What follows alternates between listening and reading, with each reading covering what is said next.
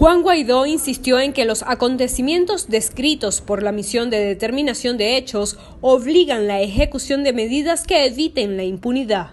El dictador ocupa una silla en el Consejo de Derechos Humanos de la ONU, amenaza abiertamente con consecuencias bilaterales o multilaterales a países miembros del mismo Consejo si aprueban el seguimiento o la continuidad de la misión. Y la primera petición a la comunidad internacional es que siga la misión.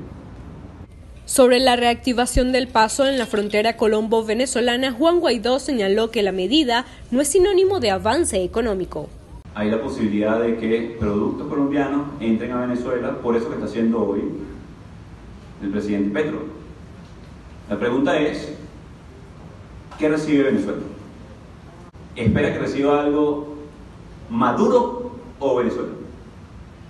Porque si lo que recibe Maduro es una foto, eso a Venezuela, por el contrario, le hace daño.